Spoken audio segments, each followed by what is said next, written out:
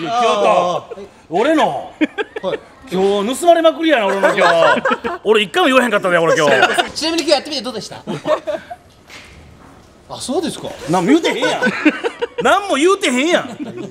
初めての企画のはい。クイズ形式の。あれ最高でしたね。お。あれいいですね。ライブに行く前なのか後か分かりませんけどそれを思ってニコニコしてるみんなの顔を見ながらそういう話を聞くっていうのはとても良かったですね。いいですね。そう。まさか思わなかったです。言ったらあかんのちゃんなん思わなかったですそれ言ったらあかんのちゃう。だいぶ今編集っていうのがありました。だか編集あの人言ったらあかんのちゃう。らの B を P にして。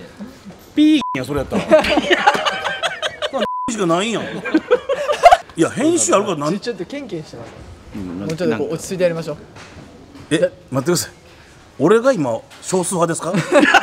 そうする橋本さんの歌はどうでした？やっぱ花ありましたね。ありがとうございます。ありがとうございますよかったですねやっぱりね。言わないでください。あそうか。ああ編集大変だこれ。編集史上一番簡単やろ今の。編集史上一番簡単やろ。iPhone でもできるやろ今の。眠れないねこれで。寝れるやろ。自分のせいやそれは。えなんか俺しか喋ってるなんなん？いや変な。じゃあちょっとケンケンしてますいや待ってたんです。よケンケン。ならパもしてくださいよ最後まで。ケンケンパンのケンケンしてたん俺今。ほな全然思ってるケンケンとちゃうやん。話めっちゃ長なってますけど。これ何分流れるん？もっと長いですよ僕たち。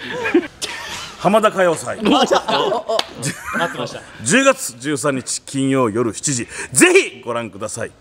ハッシュタグ浜田歌謡祭で皆さんたくさんつぶやいてください。何してるのサッカーピントドリームアーミー参戦俺たちだって動物こういうのって好物金曜夜7時。ときめく時を TBS